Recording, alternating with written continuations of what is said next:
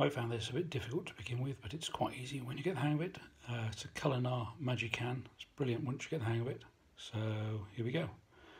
So if you open the arms here on the can opener, so just literally just pull those apart. A bit difficult to do this when you're videoing. And then if you pop that on there and you're trying to get the lip of the thing between those two, between the cutting blade and the wheelie coggy thing. So if you put that on there, in between those two cutters, the cutter and the wheelie wheel, and then if you, as you close the arms together, if you turn the knob, and I can't do it very easily with the video, but if you close the arms together and turn the knob at the same time, you'll find that will then cut into the top of the lid.